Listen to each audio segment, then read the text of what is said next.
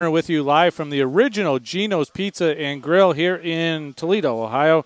Very happy to have on our bench racing hotline from the dirt track, Justin Allgaier joins us. Hey, Justin, how you doing? I'm doing great tonight, guys. How are you? Hey, do you have a long history of dirt racing?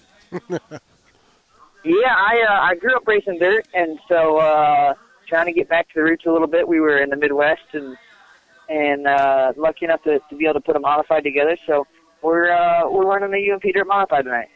Uh, sounds like a heck of a lot of fun. Of course, uh, Charlie and I really kind of got to know you uh, in 2008 when Charlie and I did a lot of stuff with the ARCA Racing Series, and turned out to be a pretty successful year for you in that uh, series as well. And uh, it, has been quite a while. You've had a, a, great success. That that 2008 success that you saw in ARCA got you a nationwide deal, and, and have shown success in that series. Got a win in the series where are you at right now? Well, I think three, four years into your nationwide career. Where do you think you're at?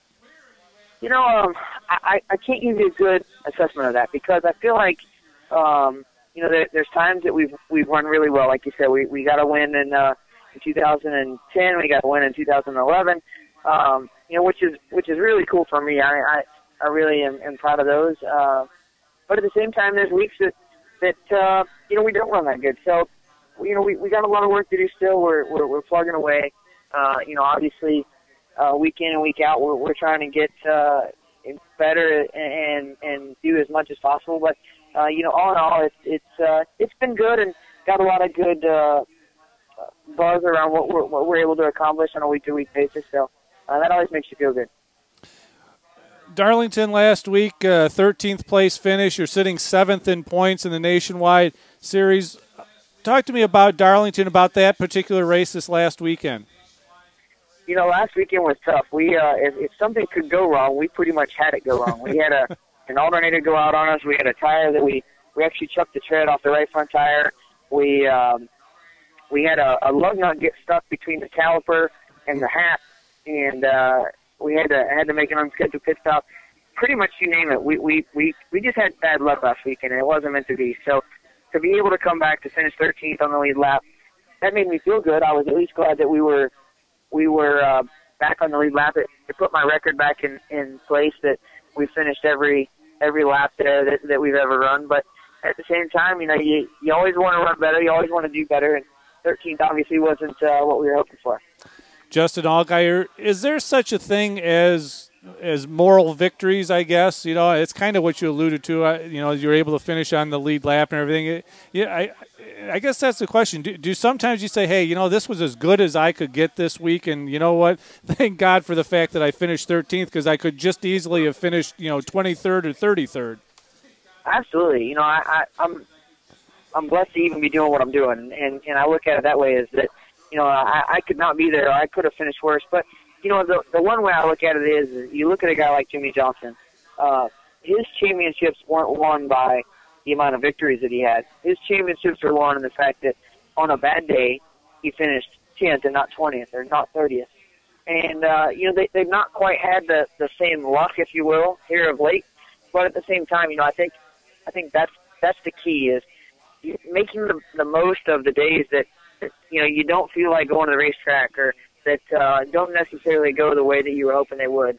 That's that's the days that that you really go, man. You know what? Today today was a great day. And, um, you know, Darlington was was that way. I mean, obviously we didn't want to finish where we did, but but when you can when you can finish uh, a race that you should know, that that's when it uh, that's when it makes it nice.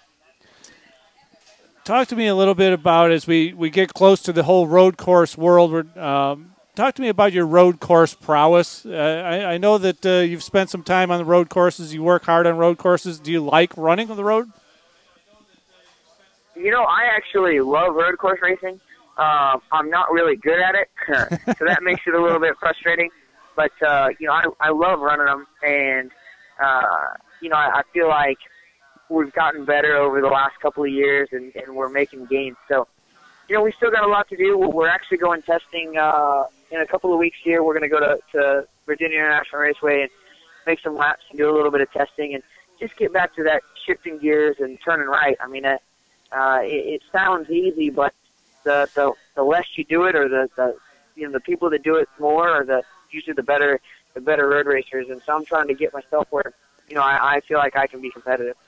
Justin, I seem to remember that uh, the first year that ARCA went to uh, New Jersey Motorsports Park, didn't you end up winning that race? We did win that race. Uh, we, we had so. awesome pit strategy, and uh, and, and, it, and the rains came at the perfect time, and everything worked out. But you know, I, I think part of that was the fact that you know you, you got a racetrack that was new to everyone, and yeah. and uh, you had a series that was new to, to to road racing. So I think I got a little bit lucky on that one, and that's not a, a true fair assessment. But at the same time, you know, it was cool to it was cool to be able to pick up that win. Talking about road courses, do you have a road course mentor that uh, helps you out as far as road course racing goes? Uh, right now, no, I don't. But you know, Ron Fellows was was a mentor to me whenever I started racing road road courses. He he was um, really influential in, in teaching me what what I learned and what I know.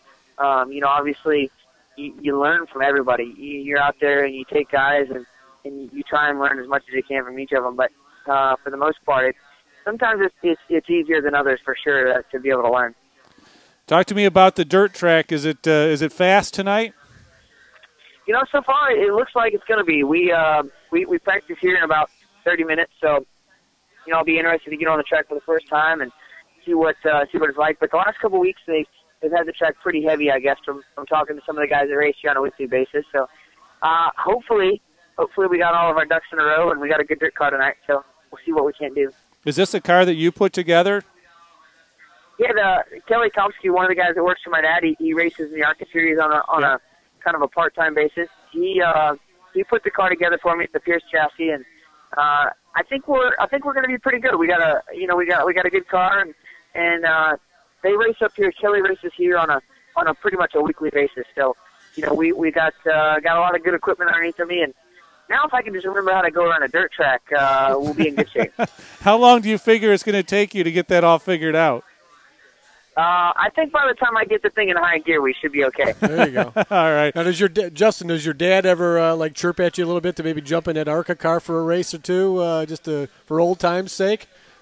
All the time, all the time. He, he's always telling me I can come back and work for him and, and race for him. So, uh, one of these days, I don't know. I might, I might be able to pull that off, but right now, I haven't been able to yet. All right. All right. Well, uh, Justin, thanks so much. It, it, took us three years to finally get hooked up with you. After I think the last time we had you on our our Inside Arca show, but it was well worth it. Hopefully, we'll be able to do it again. Best of luck to you. We love following your career, and uh, nobody deserves good things more than you do.